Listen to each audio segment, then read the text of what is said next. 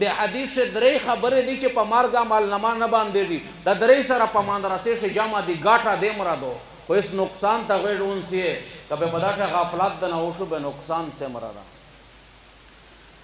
میژ خو هر زوی شی فضایل بیانای چه مدرسه جوړه که ثواب یی ده او دا او دا ټیک خبره دو ریغه خبره دو ثواب می درته بیان که خو که غفلت دنه اوشو به نقصان څمره ده.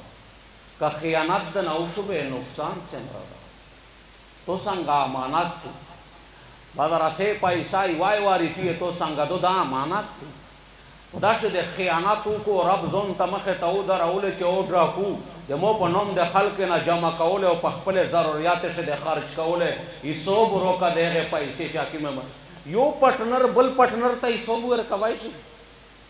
هو که رب پشتنه ده نو که په څه شي دی لګولي يې بيا که په مدرسې شي دی لګولي يې دي دا زه يې موزون ده او ده يې نه ده هميش په مدرسه شي مشوره وه يوې لس مدرسي پاشي يو مدرس وويل چې مولوي صاحب د کيم سبق سلسله چه چليږی دا په نی مدرسينه چليږی دا دوی مدرسينه تنخا ته زيوتا يی پری کوی په مدرسه بوج جوړ شوی دا خبره دی په بوج کړی يی د دغه وی الله ته جواب کوی بخاری شريف ختم وشو د الله په ذات می د قسم يی چه کير ته لوړن وستمستدل مو ته ارام نرکم. کله په یو څنګ وړه کله په بل څنګ وړه اروغند بیا مې هغه مفتي ته ټلیفون وکړو چې مفتي صاحب دوی چې ته خو دومره نو وخت راسه ویښ یې مو ورته ویل چې ویښ شوې نو داسې ډزینه در بندې کړي واقعي خبره به که رب پوښتنه رنه وکړه څه جواب به یې کوم دوی چې مولوي صاحب ما دومره خفه کېږه او هغه نه بعد یې تسلي خبرې ورته وکړې سبو ته زه مدرسې ته راغلم مور ته وې چې زه محتمم نه يم سيف چې محتمم جوړوي يا د محتمم وي ډيره غټه ګرونه خبره د عزت مند خيانت چې د نه ونټي او بيا د پيسې خيانت پرېږده دا وړه خبره ده غټ خيانت هغه چې چا اعتماد در باندې کړی زړه ټوکړه يې در کړي هغه وخت يې د نه ځايه نه کړي مش په داسې ډېره سستي کوي د طالبانو نه خپل خدمتي نه اخلي د مدرسې د طالبن د بچای یې دیر کړه ده ای دغ وخت تو سنګه امانت ته ای مطالعه د تکرار د سبک زړه وه په پرې خورې ده امانت ته خیانت چی د ناو خو نه شی وروز قیامت چی د خاینین په صف شو خو ونه دریوې دا انتهایی ورسره ضروری ده مال ولا ضروری ده په مال نه زیوته دا ضروری ده چی دا خو به بیا په آنه انتهایی ضروری که ښځينه مدرسه يې و تېر سري يې دېر کړي اعتماد يې در باندې کړی څمره لويه خبره ده څمره لوی امانت ده خو په داسې خيانت د نه وشي د هغې حيا پرده کيم قواعد دي د مشرانو د طرف نه ا ټول وي داسې په ځان و چالو کوي او په مدرسه لکه پوجي جرنيل چې جرنيل چه کیم د قانون مطابق چلیږی داسی به چالو کوی که به د کمای په شروع غی به چه څرنګه ثوابونه ډیر دی دغه رنګه ومن سن سنتا سیئتا فله وزرها ووزر من عمل بها الی یوم القیامه خدای عزت مند دی میش څنګه امانت دی دا زه د هر عالم خبره نه کوم علماء محتممین مدرسین چه د قران اود احادیث سره زندګی زړه کړی هغه نه داسی نه کیږی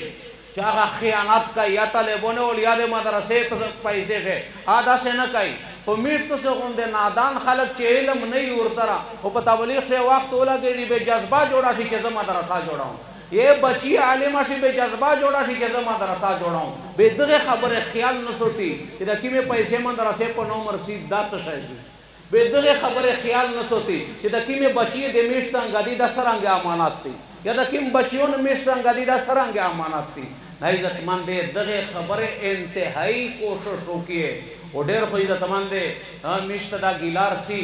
اکثر په دې ښځینه مندرسو کښې ډېر غریبان خلق سبق وي ار اصل دین ترسي غریبان خلق بختور او مالدار دا خلق داسې په دین نه دي اټول نو دین تر سی غریبون خلق نو ډیر خلق ته دغه کوي چی داسی بچی چی یتیم ای هم به دی پیس مخه نه وینی نو دی غا خیال سوتل خو بیا عزت مند ته دا خبره چی دا داسی وریز روشی کله د جشن وریز وی دا یوه خوشی دو یو خوشی وریز وی دستر بندی وی نو په دا وریز بنده مهتمم دی دغه زه دی عامه خبره نه کوم چی ټول. د الله په ذات مده قسم وي د دنيا د چا د وارجه نه وي لوړه دو داسې بزرګونو علماء او د مدرسې چلولو اول شته دي چې هغه هغې په وجه بندې الله تعالی ميشتو ستاره وکړي هغه خبره نه کوم زه د هغې خبره کوم چې امير غوندې کمزېری علم نه وي ورسره هغې ته دا خبره کوم چې کماي چې د نه په شروع نه شي. چه کمای دنا پشرو نوشی وخت چه کمای نو من رسه او طرف نه ورته وی چه پچیس هزار وروړی تو پګړی دستر باندی اتا بیس هزار وروړی و پلوری غریب لګیای په منډی شی مزدیرا کای بی بیس هزار کیما نه روړی داسی جشن نه فرض ده نه واجب ده او نه سنت ده نه دین خدمت چی وشی په ته ایوا خبره شته په خوښه بندی سیک پروګرام کوی سیمره اولمونی سیمره خرچه کیژی ادا ټول ټول ده په ځان بندی خپلی میونشی سره په ښه خوښه بندی جمع کی خو اجورتا چی ته دیمره روړی